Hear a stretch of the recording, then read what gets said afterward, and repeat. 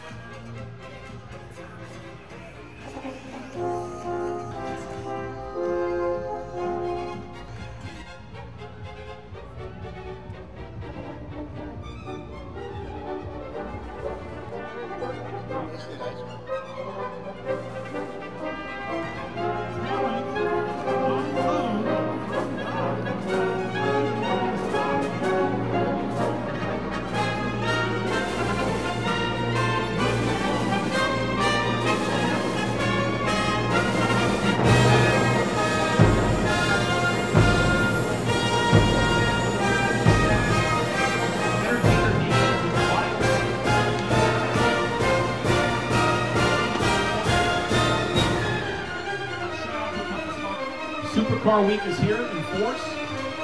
We are very privileged to be having this car show on the lawn of the current sitting president of the United States. Okay. I mean, it's it's surreal to me to just think that that's what we're doing today. And I don't know who was around earlier that saw him waving to all of us, but anyways, again, thank you guys for being here. This is my vision. This is what this is supposed to do. Is supposed to be. We want old cars. We want new cars. More importantly than anything, we want we want passion. We want cars with stories, with cars that people enjoy. And this is all about having a good time. So I hope that everybody had a good time today. Thank you, Scott. Thank you.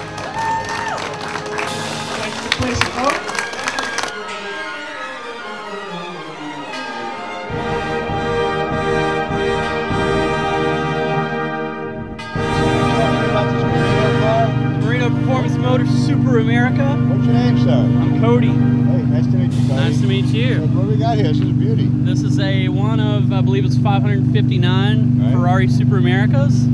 Uh, it is awesome. It's a GTC package car. So it comes with uh, different wheels, the big ceramic brakes, uh, everything. And it's it's only got 3,000 miles on it. Single owner. The uh, the only owner of it was the uh, the guy that runs uh, Cirque Soleil.